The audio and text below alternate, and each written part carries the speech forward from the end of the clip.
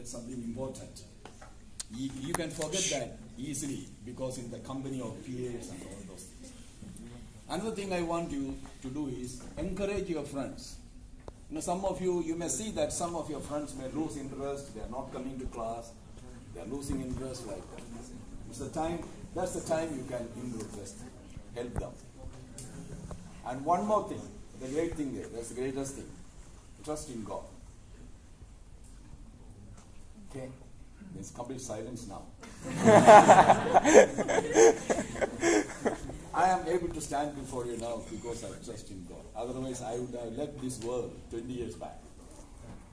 God is the one who designed you, who created you. He has a good plan for you. When you are discouraged, when you are, uh, when you think, oh, I'm no good, I'm no good, and you feel like crying and no good like that, remember there are much more intelligent students living in the villages who could not afford to come, who are much more intelligent than you. But you are here because God brought you here. God gave you a very good university. So remember that. Don't go for shortcuts. Remember, you are here, planned and designed and brought, brought here by a great God who loves you. So don't think that God is mad at you, wants to punish you for every sin you commit, this and that. No, no. So we have a great God who designed us. That's why I am standing before you. And this is a great opportunity I consider to meet you, have a relationship with you for a few, few months, to impart something to you with a mutual respect and everything.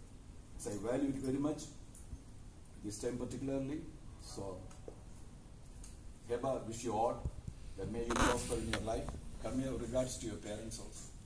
And I will get opportunity, more opportunity to advise them later.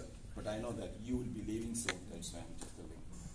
Okay, so remember when you're dis- discouraged, frustrated, not motivation, nothing like that. No, no, what shall I do? No good thing in my life. There are maybe a lot of family worries and all those things. Dear ones, loss of dear ones, sickness of dear ones, and all those things. Remember this thing. There is a great God who created you, who loves you. And with Him, everything is possible. With God, everything is possible. When you're down with your capstone, what shall we do? Remember, there's a God.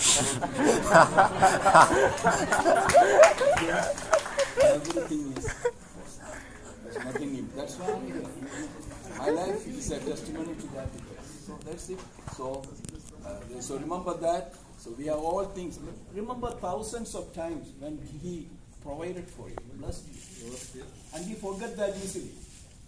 We forget that easily. How many times God provided for you, God supported you, God made all the provisions, healed all the diseases, everything.